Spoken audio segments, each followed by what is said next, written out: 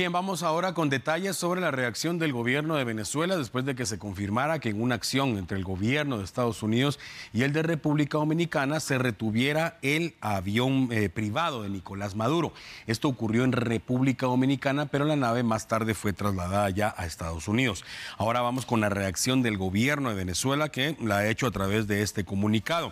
De manera literal dice lo siguiente, la República Bolivariana de Venezuela se reserva el derecho de emprender cualquier acción legal para reparar este daño a la nación, así como todos los otros daños causados por la política criminal de medidas coercitivas unilaterales.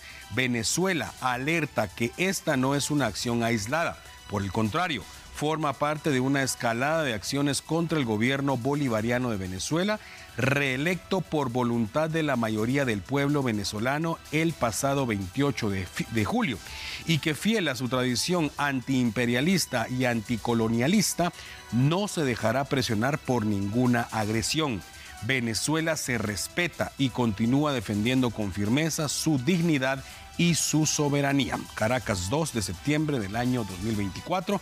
Esta es la acción, esta es la reacción, mejor dicho, ya oficial por parte del gobierno de Nicolás Maduro después de la retención de su avión privado en República Dominicana y que fue trasladada ya la nave a Estados Unidos.